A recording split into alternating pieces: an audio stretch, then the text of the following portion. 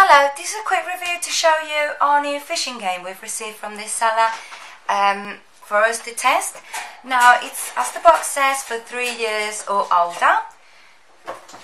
And it's for four players. So you've got two different games for four different players. And what you need to know is that at the back, I'm going to try and show you, you've got the battery compartment where you need to unscrew a star-shaped screw and put in um, two AA batteries, the normal size ones.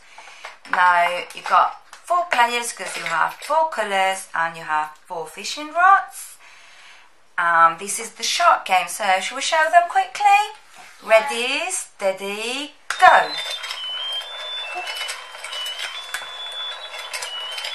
So when the sharks open the mouth, you get your whoop, rod in and then you pull it out just in time and the fish will come out.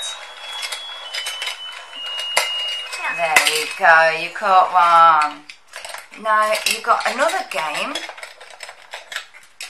Let's change them quickly. You're gonna help me guys? Good girls. Jellyfish, jellyfish. Jellyfish or octopus, whatever you want to call them. And you have the other four different fishing rods.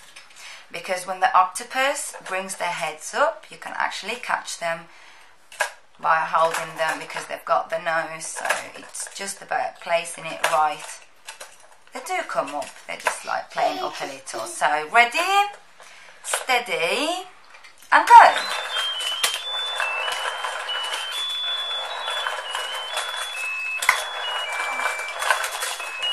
There we go.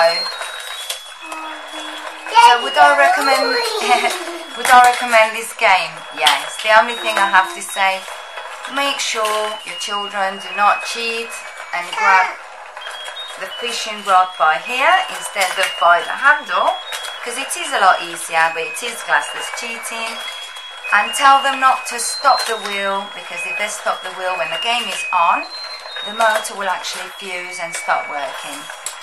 Besides that, good girl. It's a great game, great to play with the I don't family. Wow, I think you won. You won. Yay. Great game. Very entertaining and your kids will love it. 10 out of 10. I hope this review's been helpful. Thank you for watching.